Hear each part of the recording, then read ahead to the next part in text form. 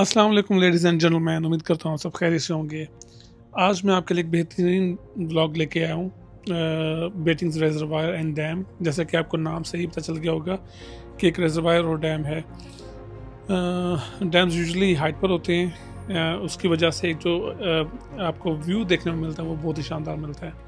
और मेरे साथ आज की वीडियो में सजाद होंगे। सजाद मेरे कुलीग हैं we know each other for about two and half years जो, मैं यूके में आया था तो जो यूके में आने के बाद जो मेरे शुरू में अच्छे दोस्त बने, उनमें से एक से ज़्यादा है। बेटिंग्स डैम्स जो है वो 1956 में बिल्ट हुआ था और बेटिंग्स रेजरवायर के सामने एक और रेजरवायर है जो, जिसको रेबर्न रेजरवायर कहा जाता है। और ये दोनों रेजरवायर रेपेंडन के इलाके में मौजूद हैं। सबसे मज़े की बात यह है कि यहाँ पर पार्किंग अवेलेबल है।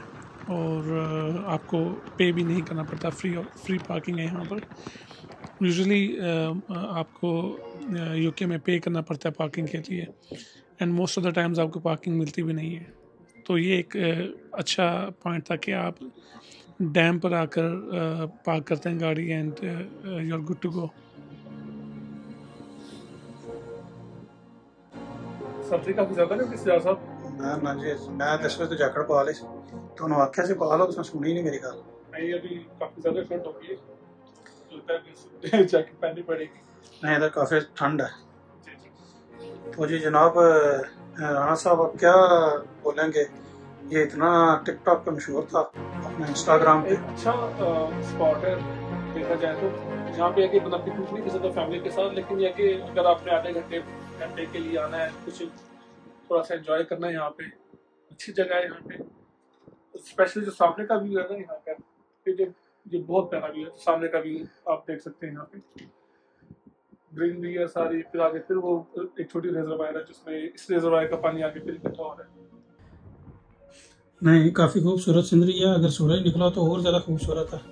अभी तो थोड़े से बादल बन गए हैं जिस वजह से ये जो है ना थोड़ी सी इसकी तो यार सब मेरे ख्याल करते हैं कि में कुछ देखते हैं हल्का फुल्का कोई कॉफ़ी वगैरह पीते हैं। ठंड भी हो गई है काफ़ी तो नहीं मैं पीऊँगा चाय पी लेंगे। लेकिन देसी से बनते हैं भाई साहब क्या करें? यार इधर की चाय से तो पता है की चाय भी अच्छी है वो इंग्लिश टी थर्ड क्लास देसी टी हो तो फिर तो नहीं चलते हैं चल के थोड़ा सा खाना शाना भी खाते हैं नाश्ता भी नहीं किया हो अच्छा।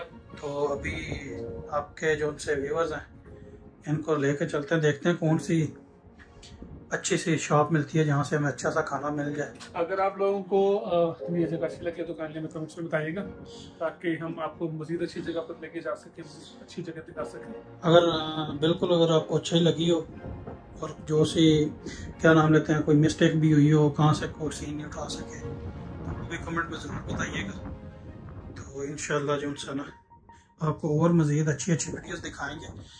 अब हम राणा जी के साथ जो उनसे ना काफ़ी ब्लॉग बनाने वाले हैं और पूरे यूके में घूम के बनाने वाले हैं। आपको दिखाएँगे। अच्छी अच्छी जगह। तो इस चैनल को भी सब्सक्राइब करें और बेल के आइकॉन को जो सा ना क्लिक नहीं करना अच्छा सा दबाना है ताकि आपको हर नोटिफिकेशन जो सा ना मिलता रहे। और आप काफ़ी देख इस चैनल में देखें, काफ़ी वीडियोस हैं जो पहले इन्होंने बनाई हैं। मतलब की है और इसी तर्ज के ऊपर जो हमसे काफ़ी वीडियो ज़रूर बनाने वाले हैं। और इंशाल्लाह घूम के बनाएँगे पॉसिबिलिटी है कि यूरोप में भी जाएँ। यूरोप में भी जाकर बनाएँ और आपको जो है इधर की सैर कराएँ। और साहब जरा काफ़ी सर्दी हो गई राना जी चलो। बैठे गाड़ी में। गाड़ी की चाबी किधर है?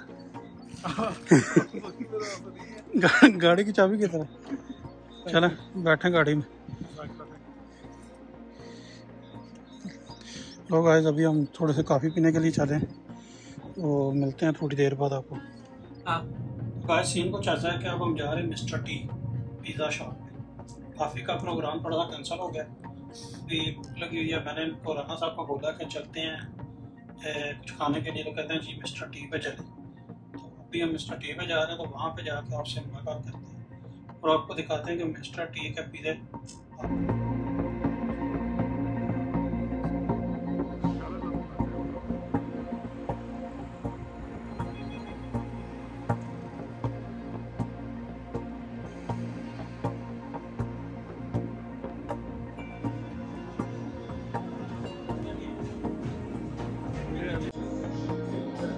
जहाँ साहब पिज्जा के साथ। मैं कहता क्या बात है साहब? नज़ारे नाश्ता ना किया हो ना तो पिज़्ज़ा भी बहुत अच्छा है। बड़ा वाकई बहुत मज़े का लग रहा है। चलो टेस्ट करते हैं फिर देखते हैं। टिश्यू तो लेके नहीं आए खाना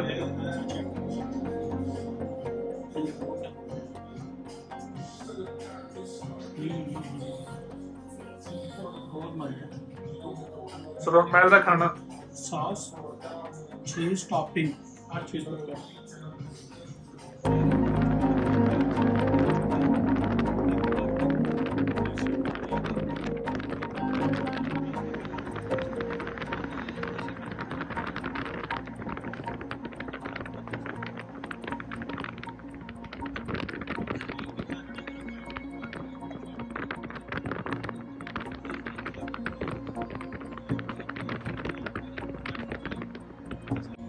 जी जी भी अभी हम वापस आए हैं। तो सजा साहब कैसा रहा आज आपका Experience. नॉर्मल तो बहुत अच्छा रहा। काफ़ी अच्छा एक्सपीरियंस था। इतने सालों में पहली दफ़ा घूमने को मिला वो भी आपके साथ। तो उम्मीद है कि आगे भी आप इसी तरीके से मौका देंगे। नहीं जी मैं अवेलेबल हूँ आप बस अब बताइएगा होते नहीं होते। अगर होते तो ये कब कब बन जाना था? नहीं नहीं दरमियान में आपकी आ गई थी ना कुछ मसरूफियात मेरी भी आई थी। मसरूफियात को नहीं थी आई। मैं वैसे ही काम छोड़ के तो टैक्सी पे चला गया था। लेकिन अभी उम्मीद है कि आगे आप जो सा ना इसको कंटिन्यू करेंगे। इंशाल्लाह। तो अभी चाय पिला रहे हैं राना साहब। शुक्रिया राना साहब। Thank you ji thank you ख्याल रखिएगा अपना। इंशाल्लाह जी इंशाल्लाह। नेक्स्ट ब्लॉग में आपसे फिर मुलाकात होगी। अल्लाह हाफिज़।